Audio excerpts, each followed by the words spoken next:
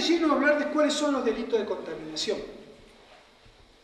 El artículo 55 dice, el que utilizando los residuos a que se refiere la presente ley. ¿Cuál es la presente ley? Es ni más ni menos que la 24.051, que en todos sus anexos, en toda la lista de sus anexos, tiene establecido punto por punto todos los metales pesados, todas las circunstancias biológicas y bioquímicas que está dando vuelta por esta tierra y le fija un tope máximo. ¿Qué le dice? Si usted contamina el agua, la tierra o el aire por encima de este tope máximo, usted va preso, usted comete el delito. Si usted contamina por encima de este límite, por eso dice, los residuos a lo que se refiere la presente ley. Están establecidos.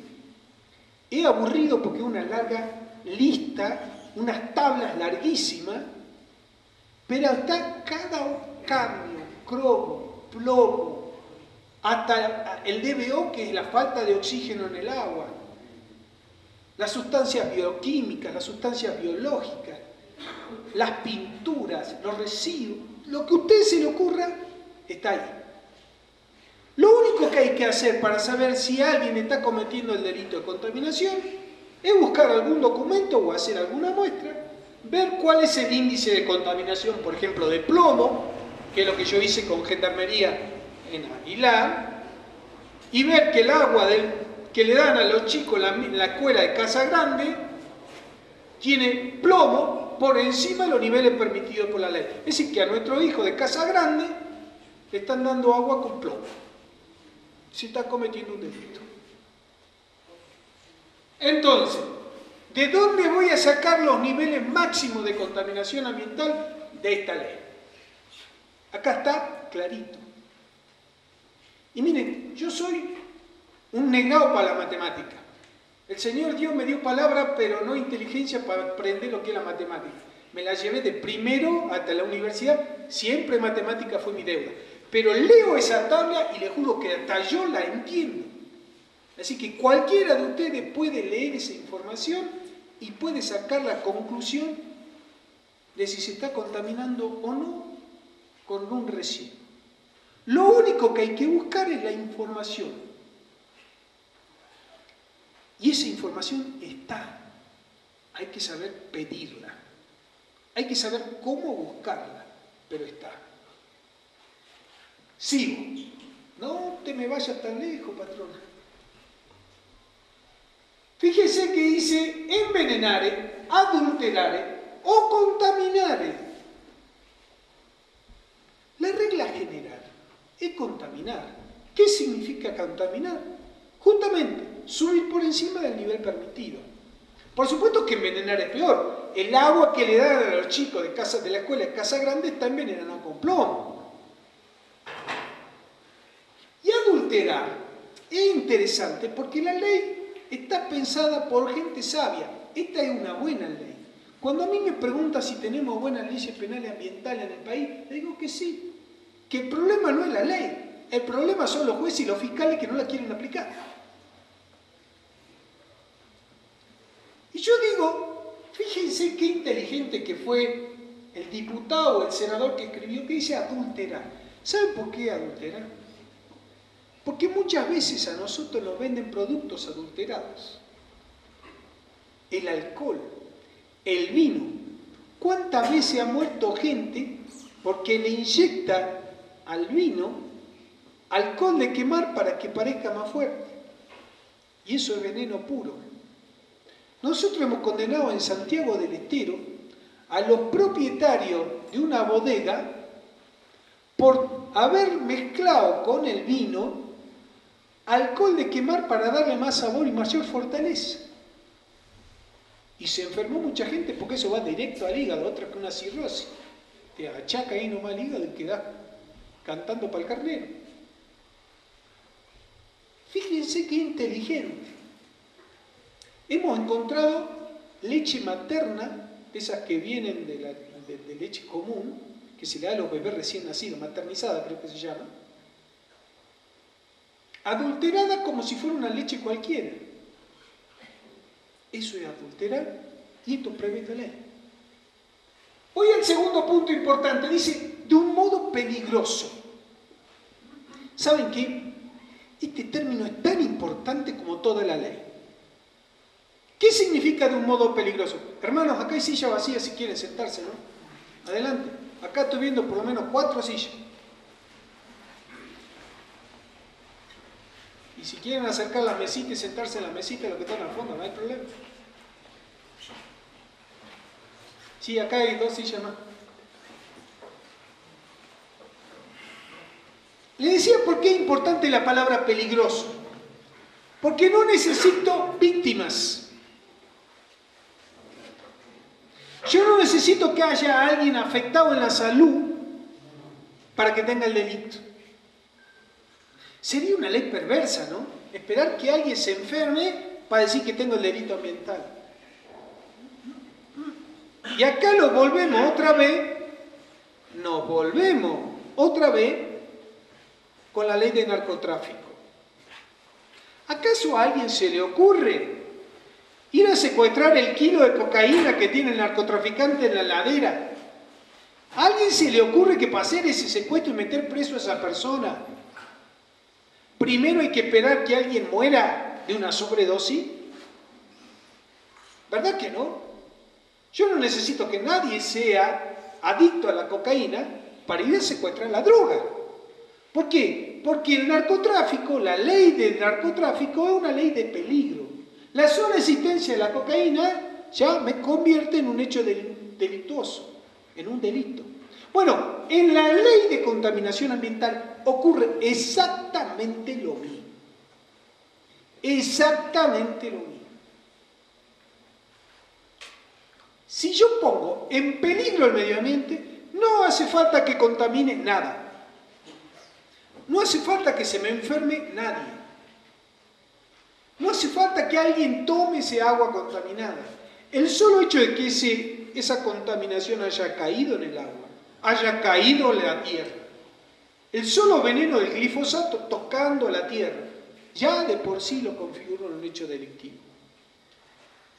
Es de peligro. Esto es importante tenerlo en cuenta. Y fíjense que habla del suelo, el agua, la atmósfera o el ambiente en general. Todo. Todo lo que nos rodea. Esta ley, sí. No decía, la pregunta que quedé pensando, en un proceso como la coca que es procesada y se hace cocaína.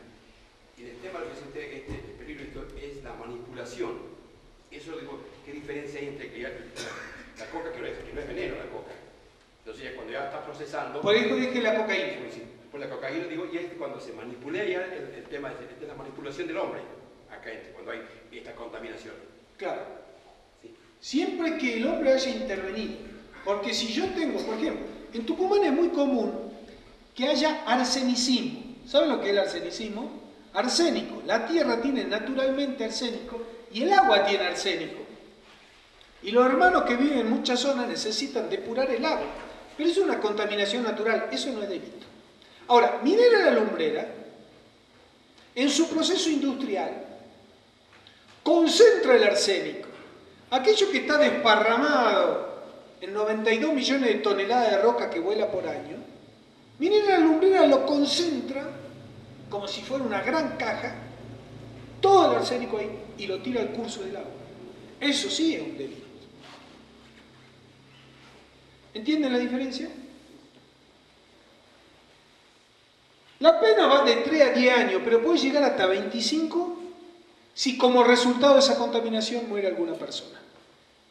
¿Se dan cuenta lo importante que es? Tres años de prisión de mínima. Pocos delitos tienen una pena mínima tan alta. Ahora sí, patrón.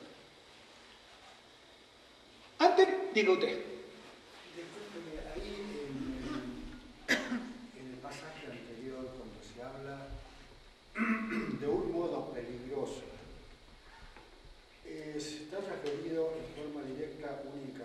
ser humano, o también eh, en ese modo peligroso que puede eh, considerar a nuestros hermanos, los animales, las plantas, sin que eso constituya un peligro para el ser humano. Muy buena pregunta. Eso es una gran discusión entre los abogados. La jurisprudencia de la Cámara Federal de Tucumán y de la que yo vengo, que es de la Patagonia, yo soy nacido en la provincia de Santa Cruz el otro extremo de donde estamos ahora, es que tiene que ser de un modo peligroso para el ambiente. Por eso yo recalto mucho el concepto de la Pacha, de la Pachamama, porque este es un delito que protege a la Pachamama, no protege al hombre, protege a la Pachamama. Está encardinada, está ensartada dentro de un capítulo del Código Penal que se llama, como bien jurídico, la salud pública. Y cuando usted habla de salud pública, no habla únicamente de la salud del sujeto hombre, sino habla que de toda la salud del ambiente en general. Gracias. Una preguntita. Diga usted, Eh, los basurales a cielo abierto, ¿es un delito también? si el basural de cielo abierto es procesado por alguien en particular y eso llega de contaminación a algún sector determinado, por ejemplo un río, una napa freática, etc., es un delito. Nosotros en Tucumán tenemos procesado a tres propietarios de tres basurales por el delito de contaminación ambiental. Ustedes saben que la recolección de basura en muchos lugares se la recoge el municipio y en otras son empresas que les conviene recogerlas. En Tucumán creo que se está pagando a la empresa un promedio de un millón de pesos por día para la recolección de residuos. A los propietarios de este basural, yo nosotros lo hemos procesado por el delito de contaminación ambiental y se está por hacer el juicio en los próximos días. Este, los basurales que no se manejan conforme a esta ley cometen el delito de contaminación. Y el intendente, nosotros tenemos un intendente, dos, tres intendentes procesados por justamente ellos manejar no solamente los basurales, sino también los mataderos, porque arrojan los residuos de la sangre y de los animales a las cloacas. Miranda, ¿no? Uno de ellos, ¿no? De los intendentes de Tucumán. No, no, no, no. Yo no me los acuerdo los nombres, pero no me suena.